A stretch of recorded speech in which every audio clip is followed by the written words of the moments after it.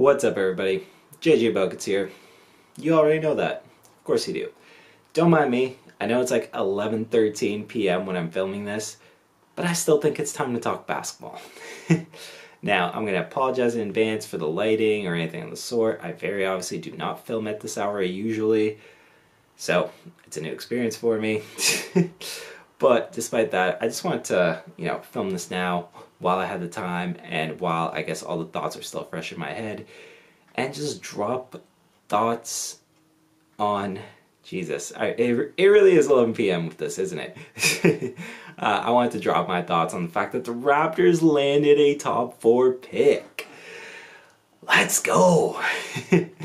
now, if you've been following this channel for a while, you know that I have been begging the draft gods, and by the draft gods, I mean Adam Silver's corrupt hand, to give the Raptors a top four pick for a while now.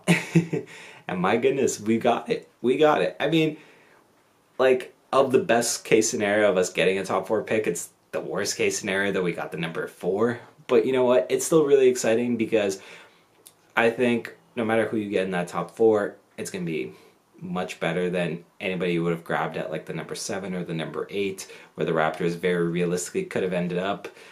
So this is a win. This is an absolute win for this Raptors team. I think the difference between picking at these spots is huge. First of all, while I get sidetracked for a second here, shout out to all of you that came out and watched the live stream on Clutch Takes channel. Obviously, if you did, you would know that I was on it in person and everything. it was great. Uh, shout out to the Canadian vaccination rate, kind of allowing for that. Um, but yeah, I, I know I'm rambling a little bit here, but I'm collecting my thoughts here. And the point that I wanted to make was the guys that you could have got at like the number in this, number seven, number eight, they would have been good players, and they would have been players that you would have gotten a chance to really develop and turn them into something being in the top four is such a game changer for the Raptors, truly. And I just want to go into why that is. I think it's no mystery and it's no secret that the top four and potentially top five, depending on how you view Jonathan Kuminga, in this draft are considered to be significantly better prospects than the rest of this draft. So I think for the Raptors, the opportunity to draft in that top four is monumental because I think there's a lot of interesting things that they can do from where they are now. And the opportunities are really endless for, well, endless. Uh, the opportunities are really about three, three or four guys, but they're endless in the sense that you know you have an opportunity to maybe trade up now and really get the guy that you want without giving up too much.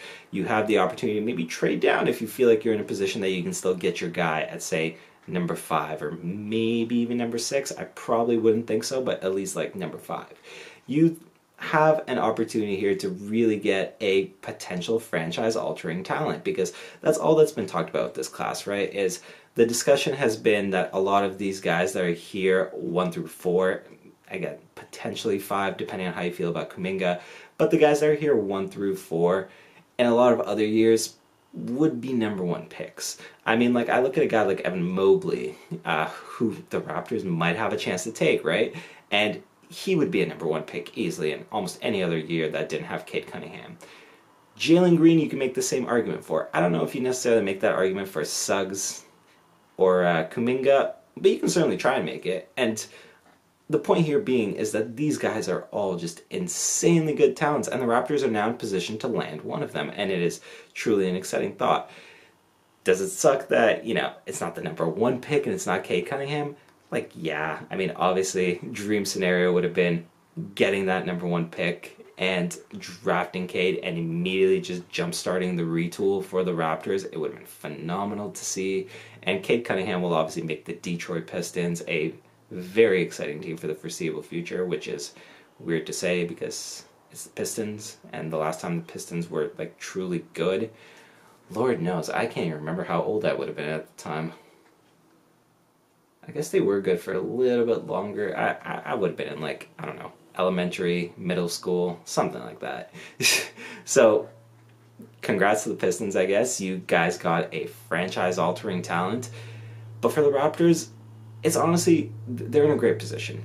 if you watched during the live stream, you would have known that I talked about the idea of Toronto potentially trading up and you know to the three or to the two. And I really do think that is 100% on the table for the Raptors. I was talking about it in the stream, but I'll reiterate it here. It's been a little bit since we've seen Masai be truly aggressive, right? So I truly believe that there's a great chance that if there is a guy that the Raptors really like and are really sold on amongst this top four or five, they're going to move up and make sure that they ensure their guy. If, say, there's somebody at number two that they want to go and get that they don't feel like will be there otherwise, I would not be surprised to see them orchestrate a deal with the Houston Rockets. I think the Rockets are in a position where they want to accumulate draft picks and potentially just fill a lot of holes because that roster has a lot of holes. Whereas the Raptors are really not a roster, comparatively speaking, that has that many holes. I mean, they're pretty much set with a pretty decent core here between OG Anunoby, Pascal Siakam, Fred Van VanVleet, depending on how you feel about him at this point in time, Gary Trent Jr., but I'll, I'll get into why maybe he isn't a part of the future fl- plans. Excuse me. Like I said, it's like 11. Give me a break. um, but yeah, like you have a good core here, and you're realistically one potentially special piece away from reinserting yourself back in. I mean, I think with a top four pick, they're going to easily reinsert themselves back into the playoffs for sure. I think this was down year for the Raptors for factors that were outside of the actual talent level of the guys here. So I think they're easily a playoff team this year. I think with a top four pick versus a number seven, number eight, though, they're going to reinsert themselves back into worst case scenario, the middle of the Eastern Conference. Especially because now they're in a position where they can go get a guy that they like in the draft and they can go fill a lot of holes with the cap space that they have in free agency. So it's really, at this point, is going to be a super exciting offseason for the Raptors. When it comes to the number four pick, or more specifically, potentially moving up, I mean, the conversation here is past. I don't want to say the guys are interchangeable, but depending on, I guess, whose team scouts you ask, you know, Evan Mobley might be the second best player in this draft. Jalen Green might be the second best player in this draft. Jalen Suggs might be the second best player in this draft. And I think that, I guess, I don't want to say indecisiveness, but that. I'm going to rephrase again, excuse me. We're, late right now. the fact that those guys seem so closely interwoven and so close together in terms of one could realistically leapfrog the other, I don't think it'll take a lot for the Raptors to potentially jump up a spot or two to get the guy they really want. For me, personally, at this point, Evan Mobley or Jalen Green. Those one of those two guys, that's who you want for your team. Mobley obviously potentially solves the center issue. Jalen Green, on the other hand, potentially solves a whole lot more issues in terms of just scoring in the half court and having a true bona fide scorer on this team that is very skilled and has the potential to also be a really good defender. He has the potential of being an elite, you know, two way wing in this league. So I personally really like Jalen Green. When this whole draft process started, or I guess when the whole process of me doing my draft scouting videos started, I was really hoping that Evan Mobley would be the guy for Toronto. I still think Evan Mobley can be the guy for Toronto. I would not be mad if, say, there's a scenario that the Raptors end up with Evan Mobley. But I think the longer this period has gone on, for me personally, I've really enjoyed looking at Jalen Green more and more, and I really like his game more and more. And frankly, I look at the three guys there. Again, I would be happy with either Green or Mobley, but I think that Green is your guy. I really do. I think he solves so many issues for you in terms of scoring, in terms of creating offense when offense stalls out. And again, you add a guy that has the potential to be a very good defender in this league, maybe elite. I mean, he has all the athletic skill sets. He just needs a coach like a Nick Nurse that can teach him how to play proper defense because his G League Ignite team had so many communication issues on defense and so many responsibilities were blown and just not communicated well between that team. I don't think you're going to see that with the Toronto Raptors. I think Jalen Green has the chance to take that two guard spot and hold it down for the next decade and a half for Toronto if everything goes well. so at this point, I think Jalen Green is our guy. I really would like to see the Raptors take him and then maybe orchestrate a trade. Said it a million times. I'll say it once more. I even said it during the stream this tonight on Clutch's channel. I'd really love to see them go get somebody like a Myles Turner.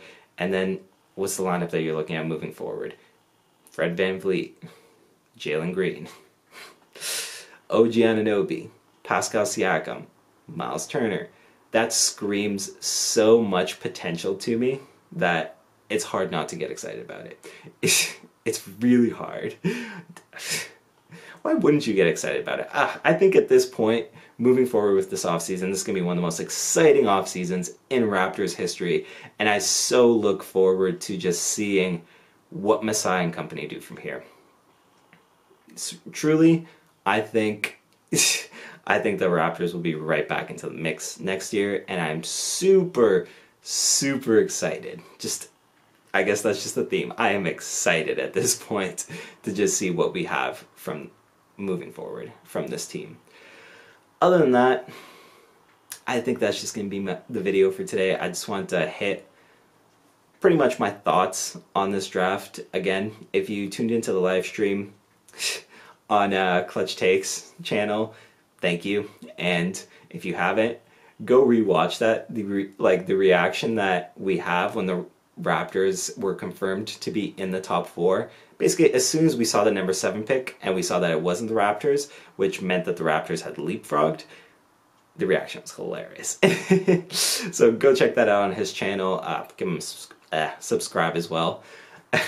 Sorry, uh, my like I have been talking for a while. I've been talking all night. frankly, and it has been insane. And I have, in case you haven't noticed, I have shot this particular video in like one really long take, so my like speech is just giving out on me, and I think that's a good, good sign to call the video where it is. Uh, thank you guys so much for watching. I know this is different in terms of the presentation style and what I usually do on this channel. And I know the lighting's different because usually I'm filming during the day when I have a nice sun and like the window is just shining in here. So I know all of that diff is different. Hopefully the quality of what I'm saying makes up for all of that. And hopefully, just like me, you are super excited about the Raptors' future from here because I think there's a lot of reason to be. We got our pick we're one good trade away and a bunch of really nice free agency signings away from filling out this roster and being a competitive team again and just being in a great position moving forward. This was a great night for the Raptors and for us Raptors fans. And yeah, other than that, that's going to do for me today. No usual stick about like the subscribing to this channel in terms of like the percentages, but you know, it's something I care about, so do it if you want, I guess. I don't know. it is late during the night, and I'm officially going to call this video here. It's JJ Buckets, signing off.